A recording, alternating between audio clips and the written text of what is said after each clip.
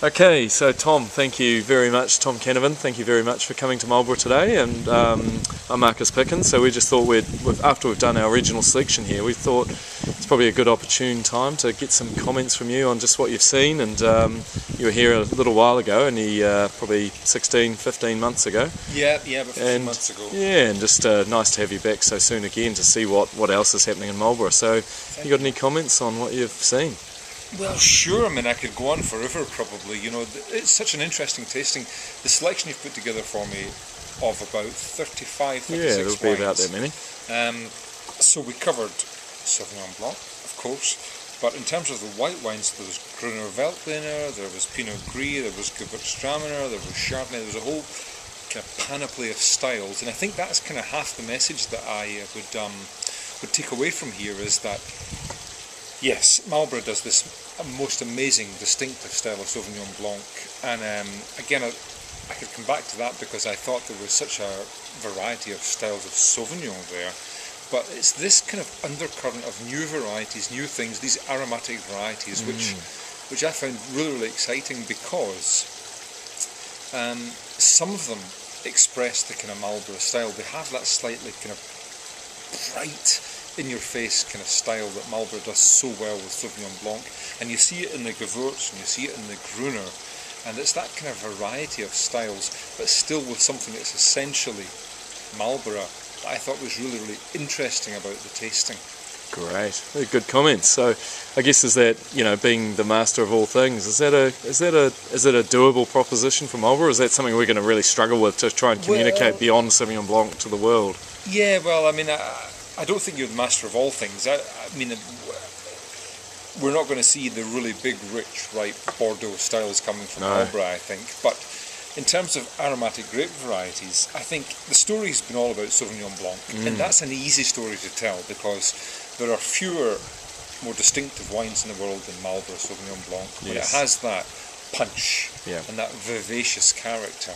I mean, that's something that other regions would would die for, frankly, because it's so distinctive and mm. so Marlborough.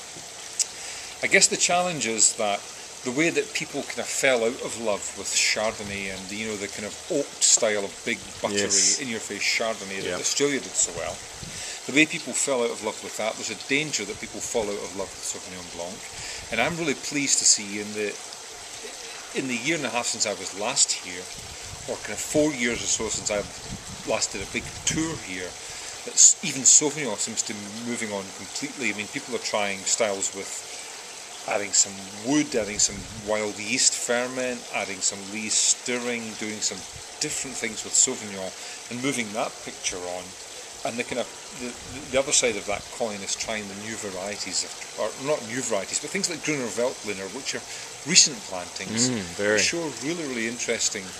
Have some of the Sauvignon, Marlborough Sauvignon punch, but do it with a different variety and pare back some of those kind of um, really, really exuberant characters that some people love, some people don't love so much mm. about Sauvignon Blanc. Yes, yes. But when you see it with a different variety, handled slightly differently, it's it's a really interesting place to be, where you're kind of um, halfway between Marlborough style, as people kind of have a preconception yes. of it, doing something different. Great.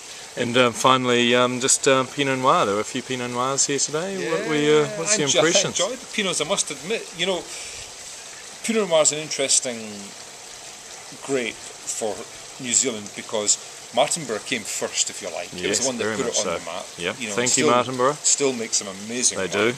Central Otago is grabbing all the glory at the moment. Yep. Uh, Marlborough is coming in under the radar slightly, but we tasted, uh, I think, six mm, Pinots there. Yes. And I have to say, really, really lovely wines. Really nice balance between. Um, they had they had a lovely fresh red fruit juiciness to them. Had a bit of weight and a bit of structure, and I really enjoyed the wines. You know, um, it's going to be interesting to watch over coming over coming years where New Zealand goes with Pinot Noir. Mm whether they can uh, carve out a real kind of uh, identity for Pinot Noir on their own. But certainly the Marlborough ones that I tasted there are all pretty well priced. Yeah. Delivering a really good glass of wine for the money and delivering authentic Pinot uh, flavours and uh, authentic expressions of Pinot. So I found it a really interesting tasting too. I'm looking forward to tasting. I'm going down to Central Otago tomorrow. Great. But the, the start of the, the Central Otago tasting that I'm going to taste wines from each different region of New Zealand, and there's lots of lots of Marlborough wines lined up there too. It's going to be great to taste these regions against each other and see where New Zealand is in terms of Pinot Noir. Oh, great. We've got a lot of lot of um, excitement around that variety, so Lots of tasting. yeah, hopefully you benefit from that experience as well. Cheers, Thank you very much Great. for coming. you. See you soon.